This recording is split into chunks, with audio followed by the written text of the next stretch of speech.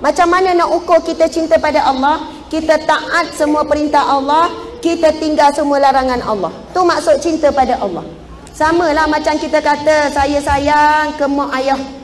Jadi bila sayang ke mak ayah, buktinya apa? Kita buat apa yang mak ayah suruh dan kita tinggal apa yang mak ayah tak suka. Contohlah, mak ni tak suka. Kalau kita ni jawab. Ha. Lepas tu kita mak cakap sikit, kita jawab. Lepas tu mak tanya, sayang tak ke mak? Sayang. Lepas tu buat jawab lagi. Lepas tu jawab lagi. Lepas tu jawab lagi. Akhirnya perkataan sayang tu tak ada nilai. Sebab apa? Perbuatan itu yang jadi bukti sayang ke mak. Ha. Kita kadang-kadang jawab dengan mak, jawab dengan ayah, jawab dengan orang. Okey, jawab sama makhluk. Tapi wat paling bahaya ialah bila kita jawab dengan Allah. Ha, tu bahasa ganu tu fahamlah tu. Menjawab lain, jawab lain. Betul tak? Beri jawapan lain menjawab soalan lain. Tapi kalau jawab oh bahasa Ghanaian makalah dia banyak tasdik. Dia banyak syadah. Dia banyak takkid ha. Makang makang tu sebenarnya dah lebih dah. Tu ada G belakang tu.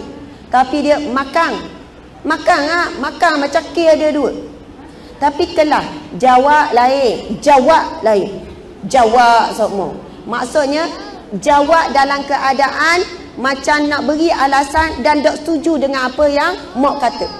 Jadi kadang-kadang kita tak sedar kita jawab dengan Allah. Memang tak jawab mulut. Mulut tak jawab. Mulut tak kata aku tak setujulah. Ya Allah, aa, apa ni tak setujulah peraturanmu ya Allah. Tak setujulah dengan apa Nabi pesan. Tak setujulah larangan mulut tak sebut. Tetapi perbuatan kita menunjukkan kita ni macam tak berapa setuju dengan peraturan Allah terhadap kita. Kalaulah tukang buat mesin basuh. Tukang buat mesin basuh. Dia yang buat mesin basuh tu. Kalau mesin basuh tu rosak, siapa yang paling tahu nak beki mesin basuh? Waktu tukang buat tu lah. Tiba-tiba panggil tukang masuk lah pula. Ha. Panggil tukang masuk, tolong tengok mesin basuh. Mana reti saya kalau bak masuk baru reti. Tapi bab mesin basuh dah erti kena cari tukang dia juga. Jadi kita ni siapa yang buat kita? Allah yang buat kita. Allah yang khalik, Allah yang maha menciptakan. Allah yang alim, yang hakim, yang rasyid.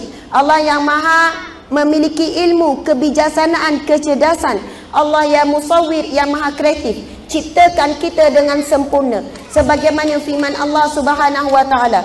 Laqad khalaqnal insana fi ahsani taqwim sesungguhnya aku menciptakan manusia dengan sebaik-baik kejadian. Mocik-mocik sekalian, kita nampak semut jalan, kita nampak burung terbang, kita nampak lalak, kita nampak ni, kalau musim hujan ni ada katak ah. Oh, kita panggil katak ah. Ke panggil frog. Oh. Okey, bunyi katak. Bunyi katak down bunyi ya. Bunyi mana? Oh, oh, Eh lama dah ada bunyi kata oh.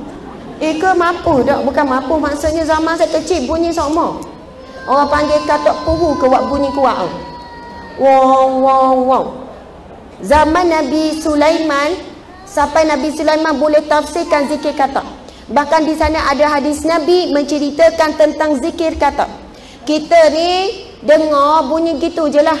Tetapi sebenarnya subhanallah makhluk selain daripada manusia ni selalu berzikir memuji Allah Subhanahu wa taala. Tanpa henti. Waktu kita nampak lekeh tu. Tetapi makhluk yang paling kurang memuji Allah ialah manusia. Makhluk wak paling kurang puji Allah, wak paling banyak protes dengan Allah, wak paling banyak kufur dengan nikmat Allah adalah manusia. Sebab itu dalam Al-Quran sampai Allah sebut sangat sedikit. Wa qalilun. Sangat sikit. Sikit ni amat sikit. Di kalangan hamba-Ku yang bersyukur. Allahu akbar. Ada satu hadis Nabi sallallahu alaihi wasallam Nabi bersabda satu hari langit berkata kepada Allah ya Allah izinkan aku untuk hempap manusia lalu Allah bertanya kenapa wahai langit lalu langit berkata kerana aku melihat mereka manusia ini mereka makan nikmatmu ya Allah tetapi mereka tidak mensyukurimu ya Allah Kemudian laut pula berkata, kita ni dok jauh dari laut ni. Laut pula berkata, Ya Allah izinkan aku tenggelamkan manusia ini. Kemudian Allah bertanya, kenapa wahai laut? Kerana mereka makan nikmatmu. Maknyok nikmat kita. Allahu Akbar. Bukan nikmat ni makan je ya. kita tahu. Nikmat mata 40 tahun, 50 tahun, 60 tahun dah ni. Kalau saya minta kak ni, ni anak kak eh. Anak saudara, Masya Allah, aku belaka anak saudara pun. Contohlah kan, saya saya suruh pejam mata kejam. Ha, saya, ini contoh je. Lepas tu saya minta kak jalan ni, turun ni. Dalam keadaan mata tutup. Agak-agak kak rasa kak boleh tak nak sampai ke belakang ni. Tak boleh. Lepas tu bila kita pejam mata jadi gelap lalu. Lepas gelap kita rasa sesak nafas. Lepas tu kita rasa jalan gagah. Allahu Akbar. Tapi kita tak sedar selama ni Allah dah bagi 50 tahun, 60 tahun nikmat nampak muka sendiri. Muka suami, muka anak-anak. Nikmat tengok Al-Quran, nikmat tengok alam ni. Tapi sejauh mana kita syukur dengan nikmat mata? Macam mana ustazah nak syukur dengan nikmat mata? Kena ucap Alhamdulillah ya Allah bagi nikmat mata. Cara nak syukur, sentiasa melihat Al-Quran contohnya. Tapi hari ni kita banyak tengok telefon daripada tengok Al-Quran. Kita tengok keindahan Allah lalu puji Allah. Kita tengok laut Allah ya Khalid yang ciptakan laut hebatnya ya Allah. Ada orang nampak laut dia nampak sedapnya mandi. Ada orang nampak laut, oh ikan ni, musim ikan ni. Eh ni musim candak sutong ni. Ada orang nampak laut, dia nampak petroleum. Ada orang nampak laut, dia nampak sapah. Banyak sapah kotor ni. Tapi ada orang nampak laut, dia terus nampak kehebatan Allah. Sampai setiap kali dia tengok, dia boleh nitik air mata. Allahu Akbar, hebatnya Allah. Buat laut tak pernah tidak ada bertepi tak tahulah mana hujung dia dan dalam laut itu tak ada manusia lagi boleh pergi sapa betul-betul dasar laut. Tak ada lagi manusia boleh pergi betul-betul dasar laut. Waktu kita nampak dalam TV National Geographic tu kan? Waktu kita nampak tu waktu nampak macam ada tanah tu itu bukan dasar lagi.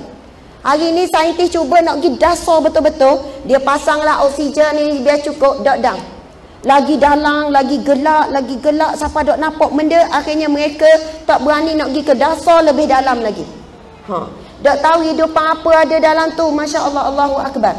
Nak sebut seluruh makhluk sentiasa memuji Allah. Yang paling kurang memuji Allah adalah manusia.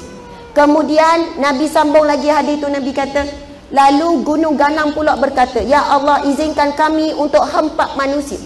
Kenapa wahai gunung ganang kerana mereka makan nikmatmu ya Allah tapi mereka sangat kurang bersyukur taat kepadamu ya Allah lalu Allah pun berfirman Allah kata wahai semula makhluk-makhluk yang besar yang rasa nak marah ke kita ni sekiranya kamu menciptakan manusia kamu juga akan mencintai mereka maksudnya Allah nak kata Allah sayang pada kita Allah ciptakan kita Masya Allah Oh seria tu lah Oh deba seria tu ha. Ha. Dia sedar budak-budak tak apa kita faham. Ha, jangan terjun. Jangan tak tu kalau nak sambut tu. Dah ha? kena ready dah bawah tu tu. Ha. Okey.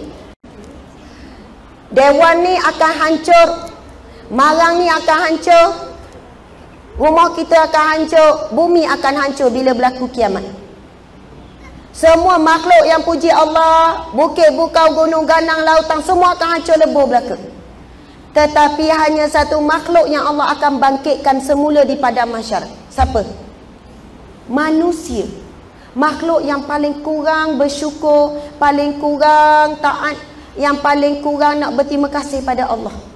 Sebab itu, dari satu sudut kita kena faham, manusia adalah makhluk Allah yang hidup kekal selama-lamanya.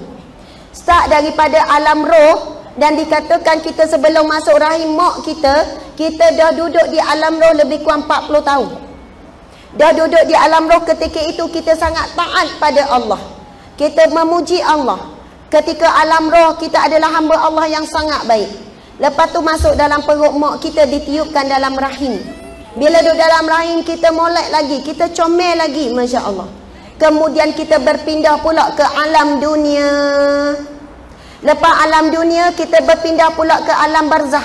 Lepas alam barzah kita pindah pula alam akhirat. Lepas alam akhirat kita akan masuk ke alam syurga ataupun neraka. Na'udzubillah min zalik. Sebab itu manusia ini adalah makhluk Allah yang Allah ciptakan untuk hidup kekal selama-lamanya. Sebab kita tahu syurga dan neraka khalidina fiha. Kekal selama-lamanya, selama-lama di dalamnya. Allahu Akbar. Sebab itu kalau orang yang faham konsep ni, dia tak lama sangat nak sedih, nak nangis tentang kematian suami ke, kematian anak ke. Sebab kita faham, dia cuma pindah alam je. Bukan tak boleh jumpa dah, akan jumpa semula. Kalaulah dua-dua mati husnul khatimah, jumpa di alam roh, di alam barzah. Roh-roh orang yang baik akan dinaikkan ke langit bersama dengan orang-orang soleh. Kemudian akan bersama pula di pada masyar bawah naungan Allah. Ni roh-roh orang yang baik. Sebab itu dia pergi dulu je, lepas ni kita jumpa semula. Cuma yang saya nak sebut, bila keluar daripada perut ibu, kita ni pun keluar ke alam dunia yang sangat indah ni, ramai yang sesat, dok ingat tempat asal dia. Ramai yang sesat dok ingat sebenarnya nak pergi mana sebenarnya. Tempat nak tuju mana? Tempat nak tuju adalah syurga Allah Subhanahu Wa Taala. Saya marah yang adalah orang mari jumpa saya. Dia kata, "Ustazah, saya nak jumpa juga gana pun. Dia mari dari jauh. Saya tak sebutlah daripada mana." Ha. Tapi jauhlah dia mari perjalanan nak mari tempat ngajar mareng, ngajar mareng dekat mana dah? Majid gontok nasi. Ha. Saya ni ada muka sama saya nampak ni. Kat masjid go tak nasi pun dia mari. Lepas tu dekat stadium pun dia mari. Dekat UMT pun mari. Dekat malam tadi pun mari. Saya pun jadi susah hati. Kan cakap benda sama kan? Ha, jadi kena mikir benda lain. Ha, tak apalah insya-Allah dah. Terima kasihlah duduk ikut sebab ha, sementara ada kat Terengganu dah. Ha, masya-Allah. Adalah hamba Allah tu mari jauh, dua jam perjalanan. Ha, maksudnya duduk kawasan jauh saya tahu bila dia sebut ustazah saya mari dari sini ni. Sebab saya nak jumpa ustazah, saya harap ustazah boleh dengar masalah saya sekejap. Lepas tu dia cerita secara ringkas lah. Secara ringkas. Nangis-nangis-nangis orang puang kan. Nangis-nangis bapa ustazah Allah buat saya gini. Bapa ustazah saya ni gini. Dah cukup baik ke? Saya dah korban tu, saya dah korban ni macam-macam lah. Saya jadi mangsa tu gini-gini. Biasalah macam-macam cerita lah. Kalau nak cerita banyak cerita, saya bukan nak cerita tu. Tapi saya nak sebut, saya ngadak banyak aduan masalah rumah tangga, masalah hidup. Sebab dulu saya kerja pun dia cari rumah tangga. Sampai ni pun orang cari. Orang sanggup nak bayar saya. Ustazah, kalaulah satu jam Ustazah letak berapa ribu pun saya sanggup. Kalaulah mahal sangat nak jumpa Ustazah setengah jam, Ustazah letak je berapa harga saya nak saya nak bayar. Kadang orang-orang kaya, orang-orang ada nama, orang ada kenamaan, orang ada kedudukan dalam masyarakat, orang politik, contoh gitulah. Ada masalah rumah tangga. Tapi setakat ni saya nak khabar terus terang. Saya memang tak jumpa dah siapa-siapa. Walaupun orang tu dia khabar dia sebut nama dia sekian-sekian orang besar sangat pun, saya kata minta maaf sangat. Sebab apa kalaulah saya menyantuni seorang-seorang, masa saya sepatutnya saya saya rasa lebih baik saya bagi masa saya untuk masyarakat awam. Untuk ummah untuk lebih luas. Jadi saya kata kalau nak dengarlah jalan penyelesaian boleh ikuti ceramah-ceramah. Kalau mikir nak senang boleh ya. Hari ni satu hari dengar masalah orang je. Ha, temu janji sejam berapa dua jam berapa betul tak? Ha. tetapi masa dan tenaga kita akan rugi sedangkan kita insya Allah diperlukan untuk lebih ramah moga ramah lagi dapat manfaat bila orang nak jumpa saya gitu, saya kata minta maaf. Saya bukan sombong. Tapi saya ada urusan lain lagi insya-Allah. Cuma yang saya boleh sebut, mudah-mudahan Allah ya qawi beri kekuatan pada puan. Mudah-mudahan Allah ya fatah beri jalan keluar. Eh tak apa, boleh-boleh ya minum. Eh boleh, wi wi wi. Eh tak apa. Alah, no. Eh siang dia tak baik. Air tu tak sedap. Ha, dia dia faham, dia budak-budak, dia reti. Tak apa, tak apa kak. Siang dia sebab dia nampak. Tak apa kak, sungguh. Saya minum dah hadir.